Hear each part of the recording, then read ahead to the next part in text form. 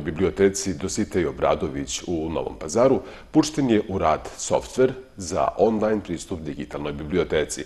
Ovaj projekat, koji je od velikog značaja za korisnike biblioteke, financiralo je Ministarstvo kulture i informisanja. Narodna biblioteka Dositej Obradović u Novom pazaru pustila je svečano i zvanično u rad server koji će im pomoći kada je u pitanju rad digitalne biblioteke. Više o tome koliko će im pomoći i šta zapravo znači uopšte što je biblioteka dobila ovaj server, reći će nam Amela Škrilj, zamjenica direktora biblioteke. Poštovanje, koliko će vam značiti puštanje u rad ovog servera? Pre svega napomenula bi da e, server o kojem ste sad e, govorili je nadogradnja projekta iz 2008. godine kojim smo mi formirali digitalni centar u okviru zavičajnog odeljenja. A sada, zahvaljujući Ministarstvu kulture i informisanja gradu Novom pazaru, znači sada smo postali jedna od redkih biblioteka u Srbiji koja posjeduje sobstveni server za čuvanje i skladištenje, znači kompletne digitalizovane e, građe, kulturno-istorijske e, baštine lokalnog e, tipa, kao i savremenog stvaralaštva naših zavičajnih pisaca.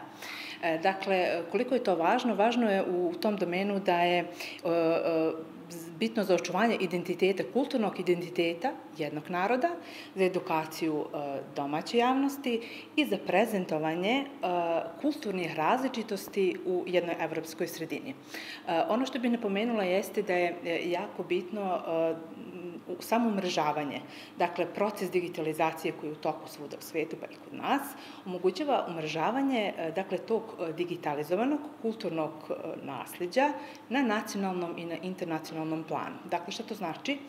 E, da će svim zainteresovanim korisnicima biti dostupne sve informacije na jednom mestu, dakle putem jednog klika preko sajta naše biblioteke moći će da pristupe digitalizovanoj bazi sve ono za što bi inače morali da tragaju po različitim arhivima i različitim fondovima biblioteke. Dakle, ono što bi napomenula jeste i to da je realizacija samog projekta u toku i da mi aktivno radimo na prikupljenju građe za digitalizaciju i tim povodom bih pozvala sve naše zavičajne pisce, koji to do sada već nisu uradili, da nam dostave sva svoja pisana dela kako bi ona putem digitalizacije bila dostupna široj čitalačkoj publici u zemlji i inostranstvu i kako bi na taj način bila sačuvana od zaborava. Ono što moram da vas pitam, proces digitalizacije je dug proces, višegodišnji. Nakon uspostave servera, koji pomaže, kao što ste rekli, u radu digitalne biblioteke, šta su naredni koraci? E, ja kažem, mi smo otpočeli sam taj proces još 2008. godine.